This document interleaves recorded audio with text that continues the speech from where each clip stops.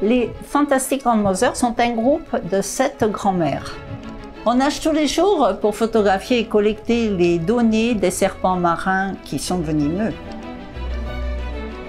Au début, on en, avait toute peur, hein. mais très heureuse d'aider, de faire cette participation à la recherche de la science. Tous les jours, le matin, on se lève, on se dit, tiens, aujourd'hui, qu'est-ce qu'on va voir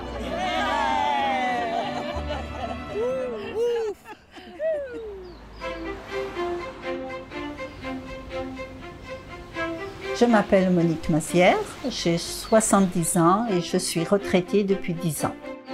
Les fantastiques grands Moser au nombre de 7, il y a Geneviève Briançon, Marilyn Sarouki, Sylvie Hébert, Cathy Le Bouteiller, Monique Zanier et puis moi.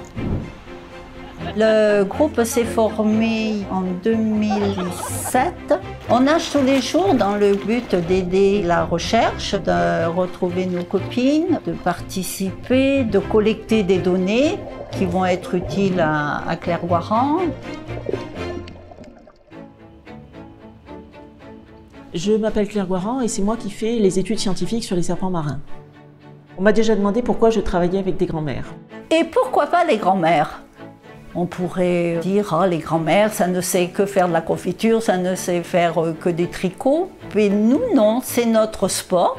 Exactement.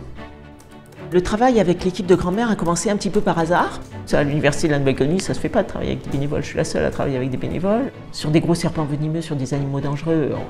Aline Guébas, qui est une, une amie que je connaissais depuis longtemps parce qu'on plongeait dans le même club de plongée. C'est Aline qui m'a proposé de faire ces photos pour moi et qui ensuite a proposé à sa voisine de venir aussi euh, donner un coup de main. Ils ont demandé à une autre copine, une autre copine, et sans avoir fait exprès, je me suis retrouvée avec cette équipe de sept grand-mères qui font un travail extraordinaire. Elles nous ont permis de connaître euh, des tas de choses qu'on n'aurait pas soupçonnées jusqu'à présent. La journée d'une fantastique grande Moser, elle commence le matin à 8h moins le quart. Donc euh, on prend les masques, palmes, tubas, nos appareils photo et nous nous mettons à l'eau. Si la mer est très calme et s'il n'y a pas de courant, nous allons jusqu'au rocher à la voile et retour, ce qui nous fait entre à peu près 2 km et demi de natation tous les jours. La première fois que j'ai vu un serpent dans la mer, euh, effectivement, j'avais très peur.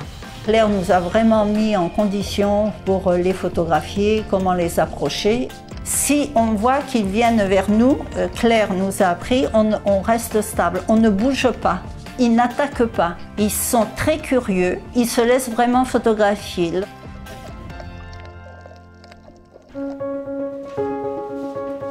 La quantité de serpents répertoriés à, à la baie des Citrons a étonné les chercheurs. Et Nous en sommes à 262. Avant de commencer l'étude, j'aurais parié sur 3, 4, peut-être 10 maximum. On sait qu'ils vont forcément manger énormément de poissons chaque année, donc on sait que leur rôle dans le fonctionnement de l'écosystème est important. Je suis très fière du travail accompli par euh, cette équipe de grand-mère. C'est même un honneur de pouvoir participer à la recherche de Claire, de pouvoir aider les gens. C'est fantastique.